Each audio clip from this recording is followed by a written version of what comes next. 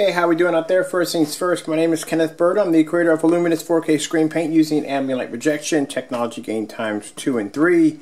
I'm not going to be talking about too much more on the um, wallpaper screens because, like I said, until I get the surface here on the 23rd, I'll be able to uh, show off more on that screen. But we are launching one, gave some updates on it, showed off uh, one of the older screens uh, from last year uh, that we no longer do business with the company due to the fact there were lines imprinted into the screen.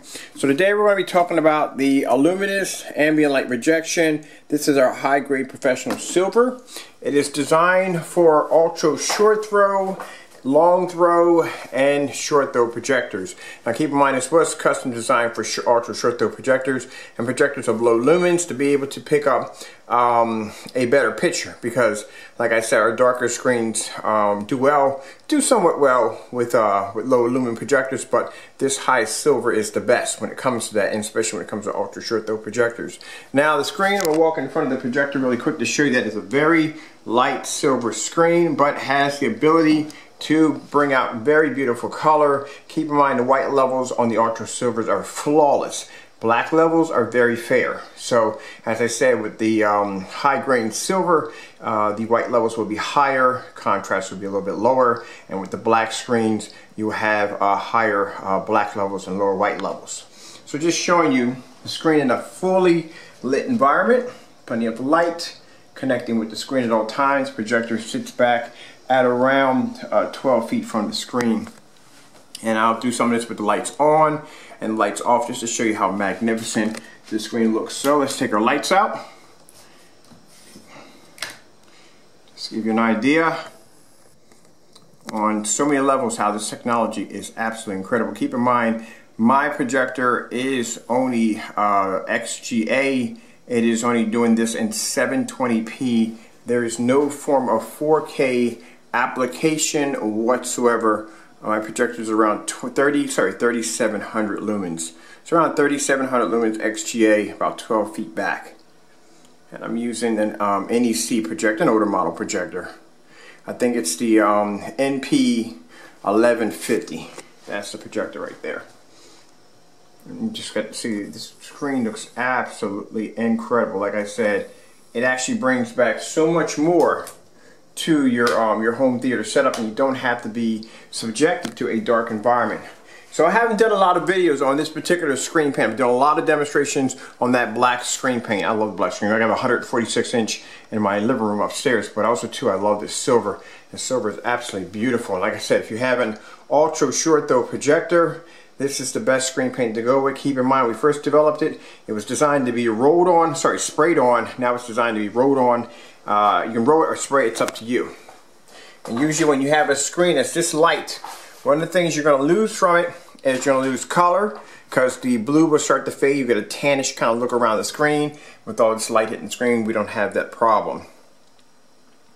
And like I said, you can use this on just any form of projector you can choose, just as long as it's not a knockoff projector. I had somebody just chime in about half an hour ago. I got, I got to actually uh, uh, give them some uh, answers. They were asking me what name brand projectors. Um, plenty of name brand projectors out there. You got NEC, you got Optoma, um, you got JVC. It's a very expensive projector, but you got JVC. Um, you got Epson. You know, you got so many different forms of projectors out there. BenQ, um, ViewSonic. You know, I mean, those projectors you can go with.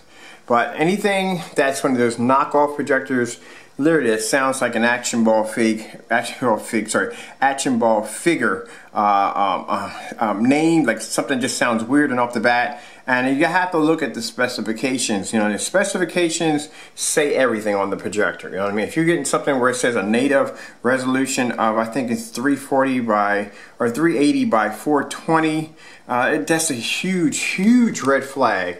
And it says it has the ability to do uh, um, uh, 1080p, that's virtually impossible. That's never going to happen. Not on this Earth or any other Earth. It's not ever, ever going to happen.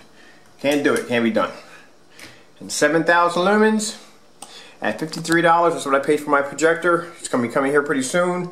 Uh, it's going to be here on January the 3rd. Now, fine, it's going to be January the 3rd. The projector will be here. I'm going to be doing it side by side. Keep in mind, I have a 4200 lumen projector and a 3700 lumen projector. So I'll do it side by side, and you'll see the difference on how they lie on these specifications. Do not be fooled into buying these projectors. I know it sounds like a great, great deal because it's like $53 or 120. Some people I've even seen pay $200 for a projector. And it may sound like a fantastic deal because it has all the bells and whistles. But trust me, you're not getting what you think you're getting. All right, so that's why so you see a lot of these demonstrations uh, on those particular projectors. We do reviews on them on some of the projectors. It's always in a dark environment. Dark environment, white wall. Can't put it anyplace else. You just can't. You can't stick it in this kind of environment. It's going to wash out. No way in the world. Alright, so I got to get out of here real quick. Just want to do this video demonstration really quick. Um, got a lot on my plate today, a lot on my plate tomorrow. I hope you enjoyed the video demonstration on this is the Illuminous Ambient Light Rejections, our high-grade professional silver uh, screen paint designed for ultra short throws, designed for, you can use it for long throws, keep in mind it's designed for ultra short throw, short throw projectors, and for low lumen projectors. Like if you have an NEC uh, VT47 or just to name a few, an NEC VT400 and a projectors that are maybe around 1500 lumens or 1000 lumens or something like that, this is screen paint that's designed for it. And as you can see, you don't have to worry about the screen washing out because it looks fantastic. Take the lights out again. I'm trying to do back and forth, so everybody, take them out here. There, these are the ones in the back on. So everybody can get an idea of exactly how beautiful the screen looks. And we can do this with lights on, lights off. Get right up there on top of the screen. Keep in mind, my projector in no way is 4K. Not even. I'm not even doing this in 1080p. It's done 720p on my projector right now. No 4K upscaling, none of that. And keep in mind, my projector sits back at around 12 feet from the screen. When you have a projector, even at 4200 lumens, or a projector even with high caliber lumens, you don't want it sitting right up on top of the screen. All right, thank you all for your time. Hope you enjoyed the video demonstration and God bless. Yeah, that's my uh, Wi-Fi finally cutting off. We've been having Wi-Fi issues down here, so they're coming down tomorrow to fix it. We had a rainstorm down here in Philadelphia, and pretty much it just really rattled the signal down here. So um, I just have to have somebody come up and get it done for tomorrow. Alright, again, hope you enjoyed the video demonstration. Wait, I'm going to step back for a minute because I want you to see where the projector is coming in at. So you see the projector sits all the way back there at around 12 feet back from the screen. So I just want to see that way back there. I don't like to do demonstrations where the um, projector is sitting too close to the screen because like I said, it, it just takes away from the demonstration. Uh, by the way, for those who want to ask, this screen is about a 92 inch uh, 16.9. All right, thank you all. Gotta go.